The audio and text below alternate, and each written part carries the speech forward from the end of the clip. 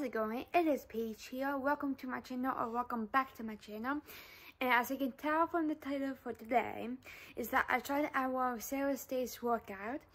I did her ebook called Sweat It To Shred It Week 5, Day 1, which was a Sweaty Shredder. There you go, tongue twister right there. And so yeah, uh, so for the warm-up, I did the warm-up that she recommended.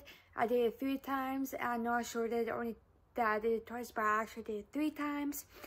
And then for her workouts, she had, for the sweaty shredder, there was seven exercises we were supposed to do. You, for the first uh, for each exercise, you do it for six times for 30 seconds.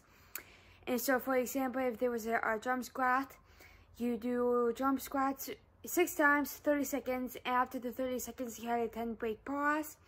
And then you repeat it, and when you did it six times, you had a 30 second pause.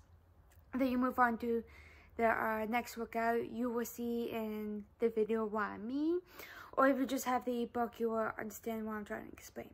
So, in this, today's workout, I completed it in 48 minutes, and I burned 388 calories so that if there you there's that if you're actually interested.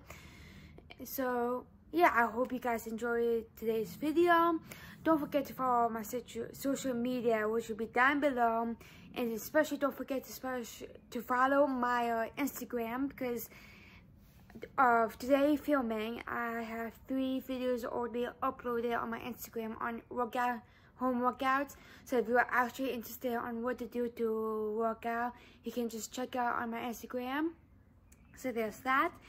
And so, but other than that, also don't forget on my, on my other social media. Don't forget to subscribe to my channel because I've been uploading at least once a week. And don't forget to like this video if this is something that you enjoy more and actually helps me out a lot if uh, what type of videos you guys like to watch. So enjoy the video.